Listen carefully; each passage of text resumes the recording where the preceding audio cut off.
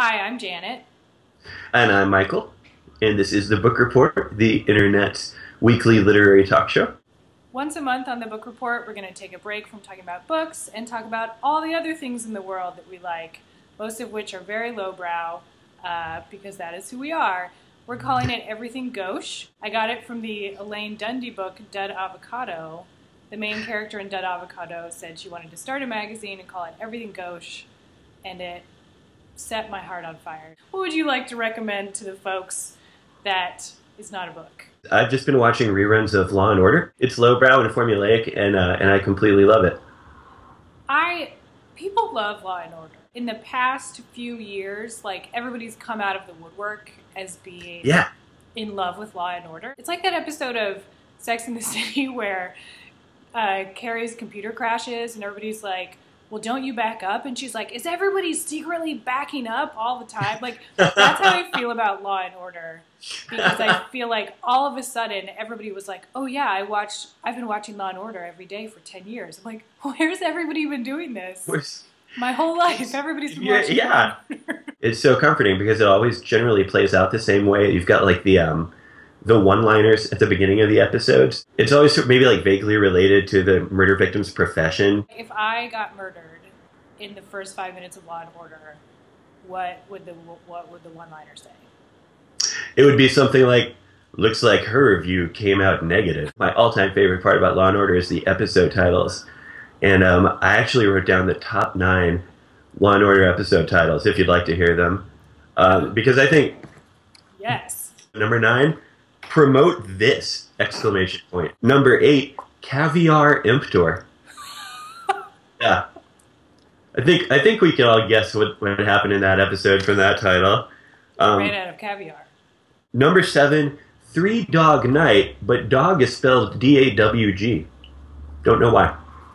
It's a mystery. Number six, Swept Away, colon, a very special episode. Number five, Whose monkey is it anyway? Number four, I have We Like Mike. It's not really that exceptional of a, of a title, but, you know, my name's Mike. Number three, Killers with a Z.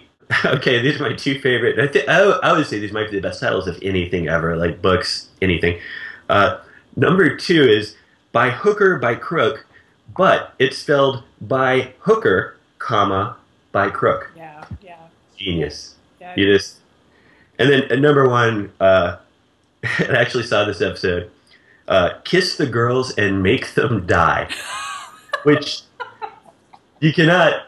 That is poetry. Are you a lawman or an order man?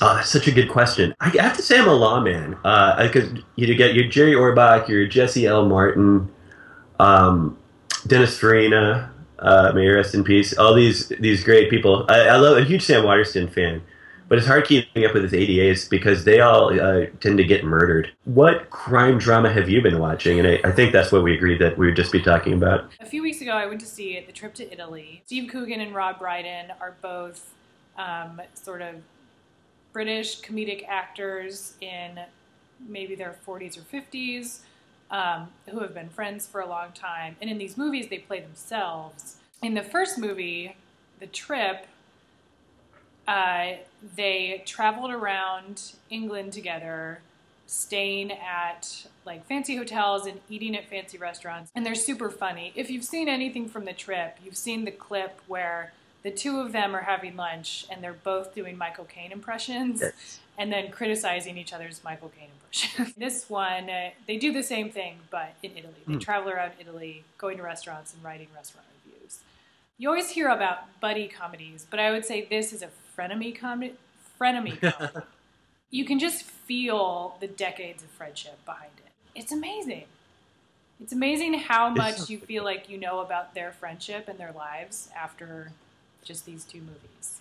These two movies portray friendship in the same naturalistic way that Friday Night Lights portrays marriage Totally.